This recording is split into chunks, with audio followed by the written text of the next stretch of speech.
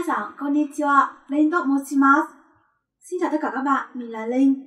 Hôm nay mình sẽ giới thiệu với các bạn bài 38 giáo trình Minano Nihongo. Đầu tiên chúng ta sẽ cùng tìm hiểu cách danh từ hóa động từ trong tiếng Nhật. Danh từ hóa động từ Cách tạo Động từ chia về thể từ điển cộng với no sẽ chuyển thành danh từ.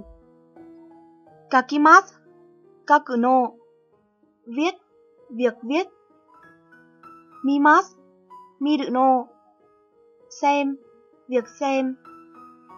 Arukimasu Aruku no. Đi bộ Việc đi bộ.